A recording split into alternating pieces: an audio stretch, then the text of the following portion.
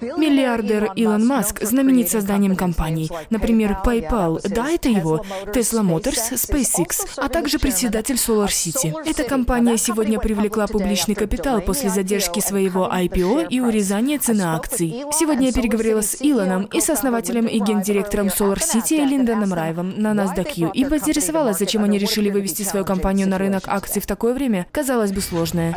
Я не думаю, что сегодняшний день будет слишком отличаться от дня через месяц или через через два. Толчок, который получил сектор солнечной энергетики, те трудности, с которыми ему приходится сталкиваться, особенно в производстве, они никуда от нас не денутся в ближайшие два месяца.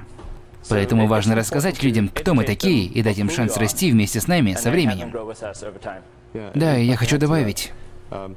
У нас состоялись очень бурные дебаты на тему того, должны ли мы оставаться частной компанией, закончить еще один финансовый год в частной форме или привлечь публичный капитал. В разное время мы были готовы поступить по-разному. Но решающим фактором стало то, что мы проконсультировались у профессиональных инвесторов, которым мы могли полностью доверять, и спросили их мнение. Они рекомендовали выходить на публичный капитал сейчас, а не когда-то в будущем.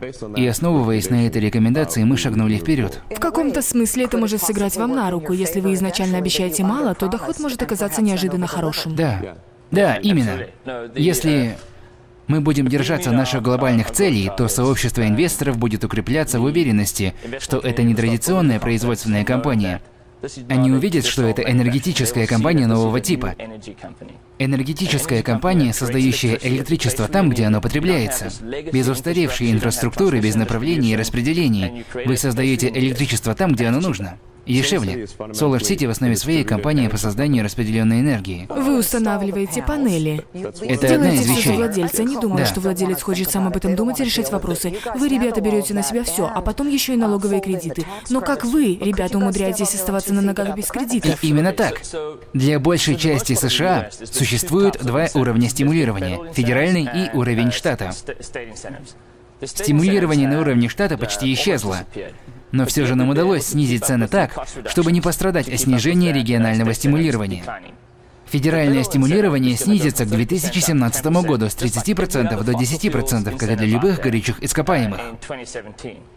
Если мы продолжим сокращать наши цены на 5,5% в год, то получим исключительно стабильный бизнес, очень похожий на то, что мы планировали до выхода на публичный капитал. Ты председатель, Илон, и ты его кузен, старший кузен.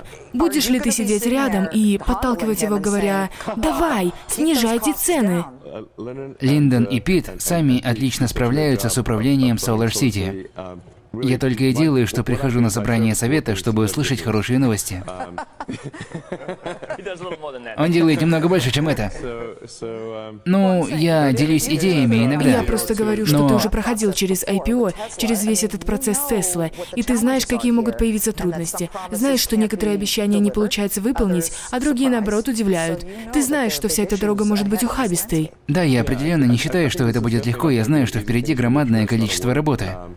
and uh, И как мы уже сказали, нам нужно оптимизировать цены как минимум на 5% в год, чтобы успевать за сокращением стимулирования. Кстати говоря, когда вы планируете показать прибыли? Если говорить о денежном потоке, то наша цель выйти в плюс уже к концу следующего года. Илон, в сентябре мы с тобой прогуливались по заводу Tesla Motors в Калифорнии, в Северной Калифорнии. Да, верно. Он выглядит очень энергоемким. Это так, да. Почему Solar City еще не поставляют вам электричество? Это немного грустная причина, по которой прямо сейчас мы не используем солнечную энергию в том, что у Тесла пока что недостаточно налоговых кредитов. Я знаю, звучит просто смешно. Я думаю, в какой-то момент следующего года, я уверен, мы будем использовать солнечную энергию на нашей фабрике Тесла. Линдон, это важный день для вас, ребята, для всех работников и так далее. Но фискальный обрыв, может, частично он стал причиной того, что не было большого интереса. Как вы это видите? Или почему тогда вам пришлось пойти на такое снижение цен? Оно ведь очень значительное. Из категории 13-15 долларов опуститься до 8 долларов. Лично я считаю, что фискальный обрыв сильно раздули. Я не думаю, что он стал причиной, по которой нам пришлось снизить цены. Все дело в том, что раньше люди уже много раз сильно обжигались обо все, что связано с солнечной энергией. Цилиндра и другие проблемы. Да, обычные производственные компании, привлекшие публичный капитал. Каждый раз, когда люди делали ставку, они проигрывали все последние три года. А теперь мы снова вышли к ним и говорим, в этот раз все совсем по-другому, в этот раз все точно получится. Люди хотят быть уверены, что мы стоим того, чтобы ставить на нас. Илон, фискальный обрыв. Сыграл ли он роль в том, что Solar City пришлось урезать цены? Если честно, думаю, это малозначительный фактор.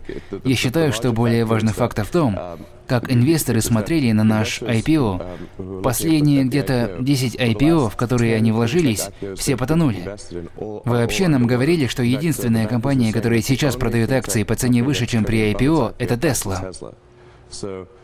Поэтому ситуация очень сложная, когда инвестор 10 раз тщетно слушал историю, которая казалась ему убедительной, а потом появляется одиннадцатая компания и уверяет, что в этот раз наверняка все сработает. И это несмотря на то, что финансовые основы у нас очень мощные. Никто не может поспорить с бизнес-основами.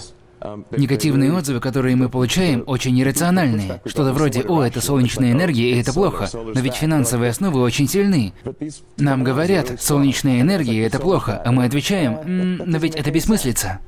У нас коэффициент валового дохода 100%, коэффициент роста потребителей 300%, но солнечная энергия – это плохо. Вообще у нас мог бы стоять печатный станок, мы фактически создаем деньги. Но солнечная энергия – это плохо, но стойте.